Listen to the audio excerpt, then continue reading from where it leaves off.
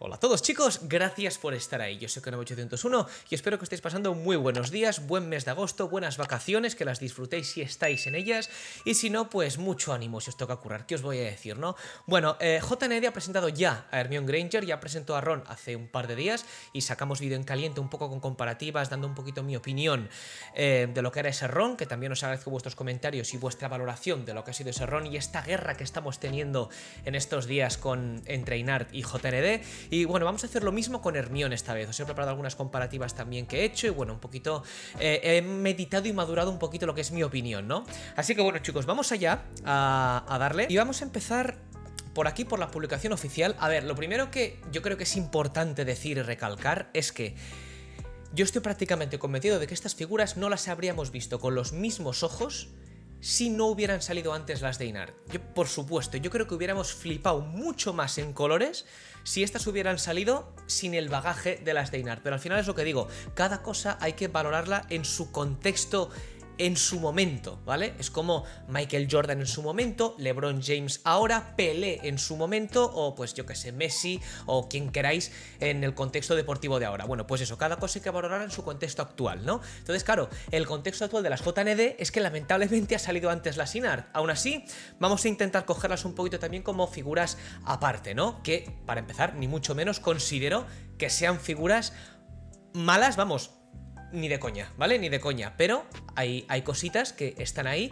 y vamos a comentarlas aquí con todos vosotros. Bien, eh, como decía, esta figura, igual que el Ron, no me voy a alargar con ese tema, pertenece a la línea de Light, de esta de Caution Works, que básicamente son Ron, Harry y Hermione, que se venden por separado en sus versiones de pelo esculpido y eh, cara, rostro, piel plásticas de PVC, ¿vale? Entonces, las han sacado a 312 cada una, eh, preorder del 10 de agosto al 9 de septiembre, tenéis un mes para pensárnoslo, y 5.000 unidades cada una, que pienso que son muchísimas para cada una. Me decíais, porque bastantes me lo habéis dicho, Juanca, eh, pero esto vamos a poder pillarlo en tiendas de distribución universal, españolas, eh, asiáticas de distribución worldwide y demás. Y digo, pues chicos, no lo sé.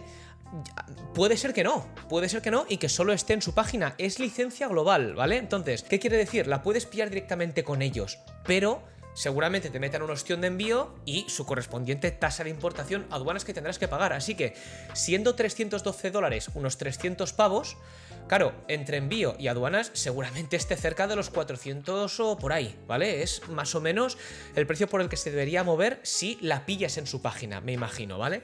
Eh, si la pillamos en otras tiendas de distribución a todo el mundo, bueno, pues ya veremos a ver si alguna lo consigue y al precio al que sale. ¿Vale? En cuanto ocurra eso, si está disponible de esa manera, os lo haré saber, ¿vale? Así que no os perdáis nada en ese sentido. Bien, aquí tenemos al Hermión, chicos, aquí tenemos al Hermión. Al contrario que Inart, JND sí ha decidido con esta línea Light de Caution Works, de su línea un sexto, darnos una versión de pelo esculpido con esta, con esta Hermión. Ya, una de las fotos que creo que más le favorece, esta de aquí que estáis viendo ahora mismo, ¿vale? En general, en general, eh, bueno, vemos aquí esto, que es verdad que es una junta bastante disimulada, pero eh, yo ya diría que Inarte en ese sentido va un paso por delante, ¿vale? Porque creo, creo, ya me diréis si sois de los coleccionistas que preferís esto y poder doblarle las piernas a no, pero yo, en principio, preferiría piernas simples, de silicona y que no se le vea esta junta porque le quita muchísimo realismo, ¿vale? Yo soy de ese equipo esta vez, ¿vale, chicos? Bueno, pues ya veremos a ver si terminan haciéndolas simples como Inart, pero de momento ahí están, ¿vale? De momento ahí están. En cuanto al resto, hombre, pues es lo de siempre, que esto no es nada nuevo los pelos largos esculpidos generalmente bajan bastante el realismo de la figura, ¿vale? Y creo que con este Hermión le pasa igual también, ¿vale? Le pasa igual también. Aún así, me parece un esculpido que yo creo que peca un poco como el Ron, no tanto de caricaturizado, demasiado texturizado y demasiadas arrugas y demás, que luego lo vamos a ver en fotos comparativas, pero me es muy, muy majo, o sea, me es muy, ¿cómo decirlo? Muy cariñoso, muy entrañable, that's the word, ahí está. Es muy, muy entrañable me parece, ¿sabes? Este, este esculpido. Creo que la expresión es adorable, ¿vale? Es adorable. Bueno, aquí tenemos con lo que vendría, que esta vez sí nos dan una mesa para poner el ajedrez mágico. No, mira, la mesa no te la damos con Ron para el ajedrez, te la damos con Hermión, que por lo que veis aquí es que Hermión no la necesita. Hermión no necesita esta mesa. ¿Para qué? ¿Sabes? ¿Para qué? Para ponerse así, bueno, con la pierna doblada y como leyendo un libro, puede ser una pose, pero esa mesa es para, para el ajedrez. Aún así, digo yo, faltan sillas para que se pongan a jugar, ¿no? Faltará alguna sillica. Bueno, eh, una alfombra, cartas, solamente tres manos. Es que me parece muy poco, chicos, tres manos. Que sí, dices, si al final usas siempre las mismas, Juanca, usamos dos o tres. Que sí, pero que tienen que traer más, que es que nos tienen que dar más. Simplemente por, porque es un poco, en mi opinión, lo que debe ser.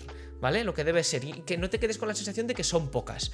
Libro, pluma, tintero, lo que es bufanda y abrigo y la varita, ¿vale? Entonces esta sería la armión, mismo precio que el ron, ¿vale? Mismo precio que el ron.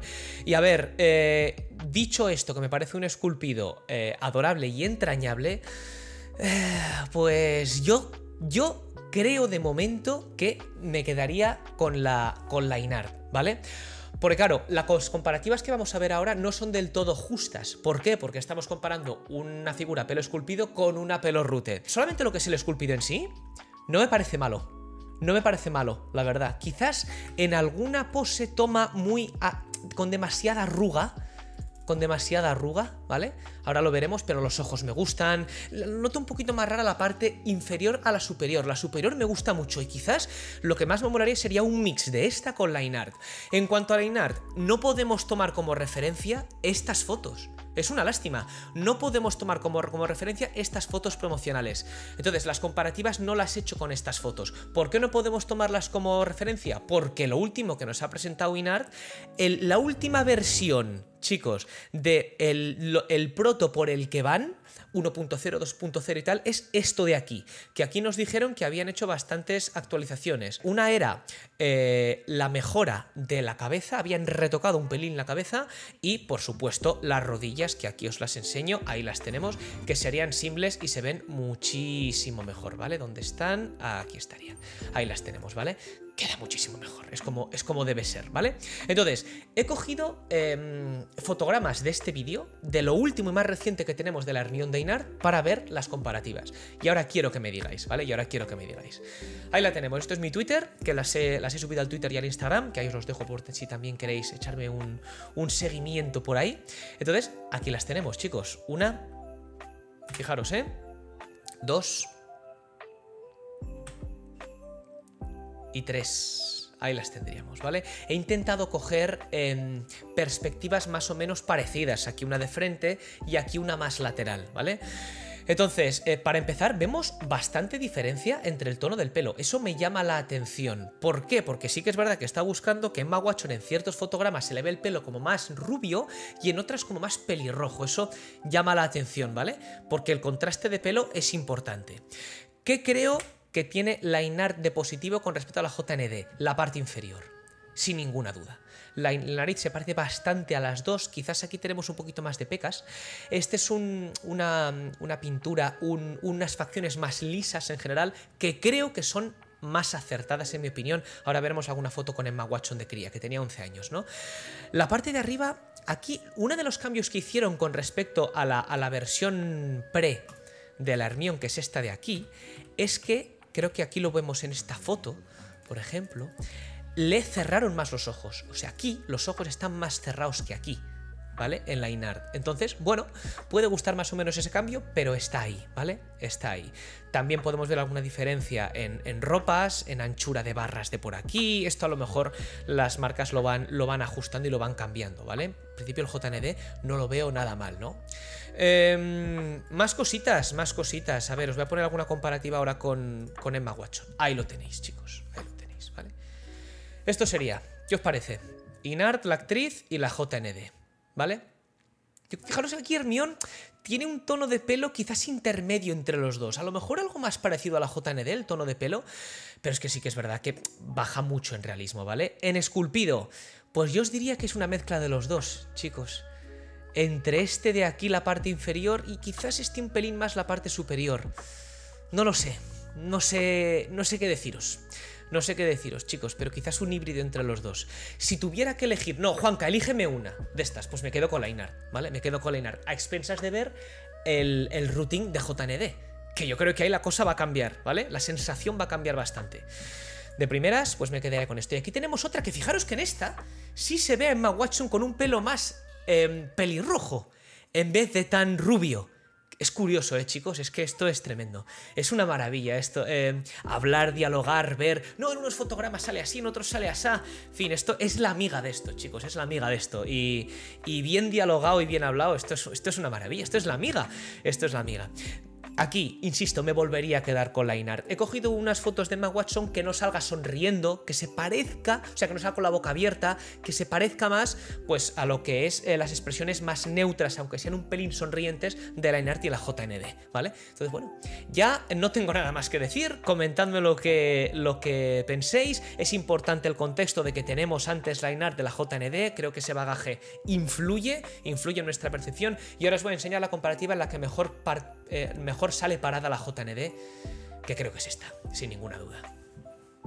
¿Vale? En esta foto, que aún así bueno, sí que se parece, pero claro, es, claro, es que una es la actriz y otra es la figura. Una figura nunca va a ser 100% la actriz, ¿no? Aún así, creo que esta es la foto en la que mejor parada sale la JND. Creo que no se ve nada mal. Creo que el pelo esculpido influye en bajar el, realismo. Pero, oye, eh, ahí está también, ahí está. Así que nada, chicos, llevamos ya un ratito. Eh, comentadme lo que queráis de esta Hermione, de lo que se me haya pasado y, por supuesto, vuestra opinión, tanto de la figura individualmente como con las comparativas que hemos visto que ahí están. Y por mi parte, nada más. Gracias por estar ahí y nos vemos muy pronto. Cuidaros y sed buenos. Chao, chao.